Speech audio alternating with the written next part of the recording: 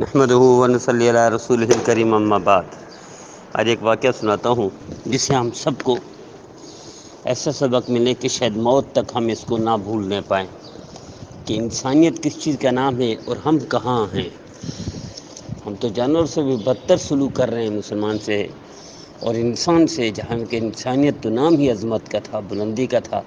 ये आपको एक अच्छे इंसान का वाक़ सुनाता हूँ। रमज़ान था और तकरीबन एटीस काशरा था पाकिस्तान में। तो मुफ्ती आज़म पाकिस्तान, मुफ्ती शफ़ी उस्मानी साहब रहमत मेरे उस्ताद मोहतरम हज़रत अख्तर शेख इस्लाम तक उस्मानी साहब के वालद साहब। वो बीमार हुए और यहाँ तक इतने बीमार हुए रमज़ान में कि डॉक्टर ने जवाब दे दिया कि शायद अल्लाह को प्यारे हो जाएँगे। तो मेरे उस्ताद मोहतरम खुद लिखते हैं, हज़रत शेख इस्लाम तक उस्मानी साहब लिखते हैं कि मेरे वाले साहब ने दुआ किया अल्लाह मुझे रमज़ान में मौत ना देना। क्योंकि रमज़ान की मौत ऐसी है, हदीस में है कि जो रमज़ान में मर गया, अल्लाह उसको सीधा जन्नत देंगे। यानी हिसाब किताब के बगैर बख्शिश कोई हिसाब नहीं होगा क्या तक। यानी जन्नत है, जन्नत ही है रमज़ान की मौत। इतनी अच्छी है, लेकिन उन्होंने फरमाया, अल्लाह मुझे रमज़ान में मौत ना देना। मेरे उस्ताद मोहतरम इस्लाम तक इस्मानी साहब फरमाते हैं कि हमने पूछा, बजान माजरा क्या है? कि दुनिया तरसती है कि रमज़ान में मौत आ जाए, यानी हिसाब नहीं होगा क्या तक, बख्शिश है, जन्नत ही होना है। और अब फरमा रहे मेरी रमज़ान में मौत ना आए। वजह क्या है इसकी? इसके पीछे मन एक लॉजिक इसकी वजह।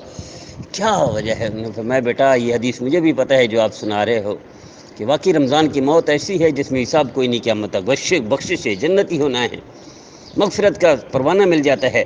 लेकिन अगर मैं रमज़ान में मर गया तो पूरे कराची से लोग आएँगे, जनाजा पढ़ने वाले रोज़ादार होंगे, उन्हें तकलीफ़ होगी। कबर खोदने वाले रोज़ादार मुसलमान होंगे, उन्हें तकलीफ़ होगी। ताज़ियत के लिए पूरे कराची से लोग आएँगे, पूरे मुल्क से होंगे, रोज़ादार मुसलमान होंगे उन्हें तकलीफ़ होगी। जो कंधा देंगे, रोज़ादार मुसलमान होंगे, उन्हें तकलीफ़ होगी। जो कोई भी किरदार अदा करेंगे मेरी मैयत के साथ रोज़ादार होंगे और मुसलमान होंगे उन्हें तकलीफ़ होगी। मैं इतनी अच्छी मौत पसंद ही नहीं करता जिसमें मेरे मुसलमान रोज़ादारों को तकलीफ़ हो, हो और वो थोड़ी सी भी इसमें रोज़े के साथ परेशानी उठाएँ। मुझे ऐसी मौत नहीं चाहिए इसमें मुसलमानों को तकलीफ़ हो। यानी इतनी अच्छी बख्शिश वाली मौत ही पसंद नहीं है। कि मुसलमान को तकलीफ़ ना हो और हम उसी मुसलमान को तकलीफ़ देते हैं, जलील भी करते हैं, गालियाँ भी देते हैं, गिबत भी करते हैं, नफ़रत भी करते हैं और हम कहाँ खड़े हैं? ये हैं अच्छे इंसान।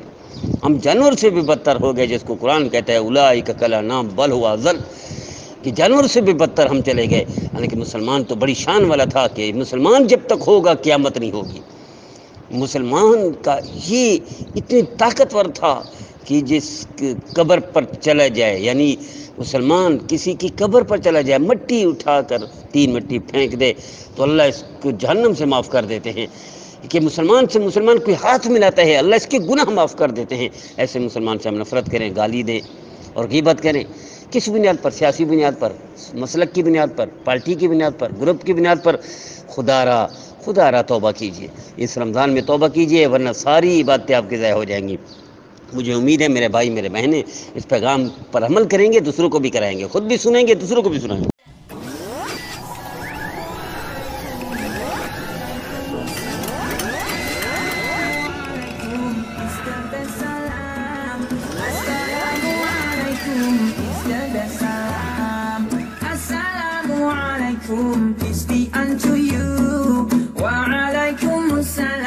Peace be to you.